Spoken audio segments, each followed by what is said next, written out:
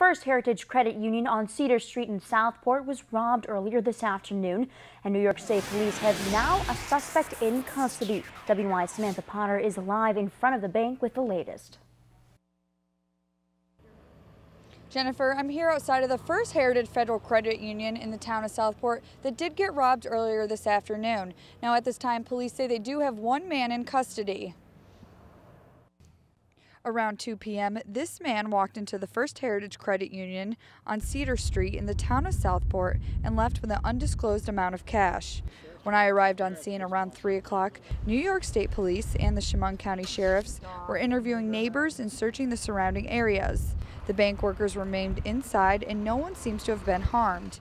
Neighbors say they didn't hear a lot of commotion during the time of the incident and are concerned because this is the bank they use. You know, yeah, it makes you worry. I I used to keep my doors unlocked, but I don't do that no more. You know, it's just just getting worse. The state police, the Chemung County Sheriff's Office, and the Elmira Police Department, along with the FBI, have identified a subject in today's robbery at the bank.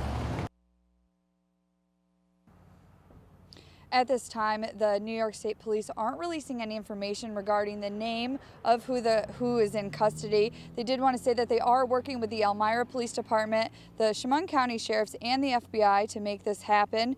Stick with us and go to our WENY Facebook page and we'll continue to keep you updated as more information is available. Reporting in the town of Southport, Samantha Potter, WENY News.